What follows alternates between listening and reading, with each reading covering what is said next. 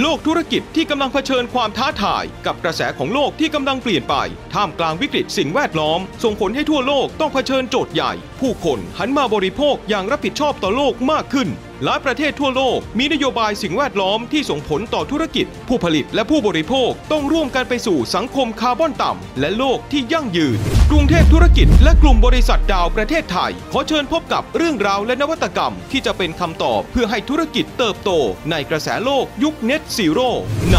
Fast Track to the Net Zero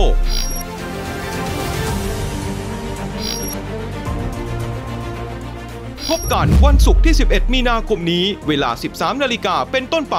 ลงทะเบียนได้ที่ www.bangkokbiznews.com/seminar/net03